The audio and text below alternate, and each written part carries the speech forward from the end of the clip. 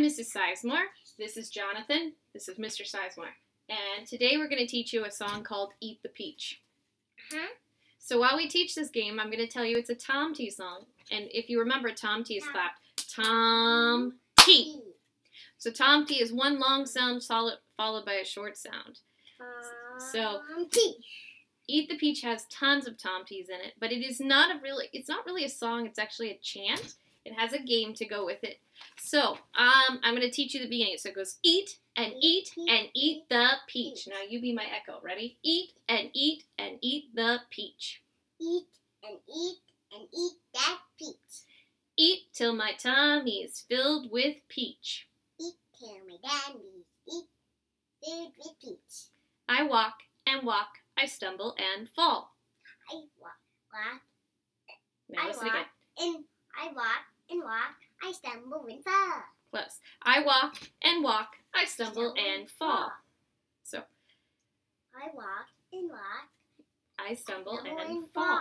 And then this little house is so sweet. This little house is so sweet.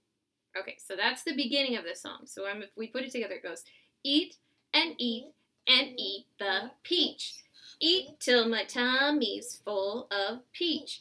I walk, I walk, I stumble and fall.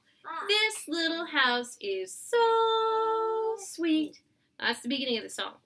Then there's a part where the person who's it, so in this case, that's going to be me. No, I want to be it. Okay, you be it. Stand up.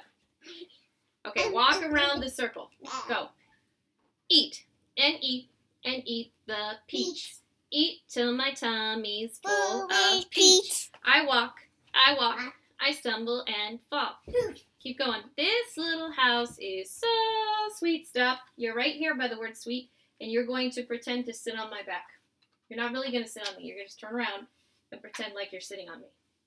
And then I'm going to say, What are you doing at my house? And you're going to say, I'm here to eat your peach. Can you say that? I'm here to eat your heat. Why don't you go to your own house and eat your peach? And you're going to say, Because there's a wolf at my door. And then you're going to run around the circle and I'm going to try and catch you.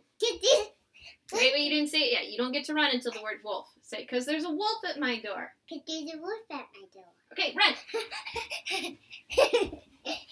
No, no, you have to find the seat before me or I win. Okay.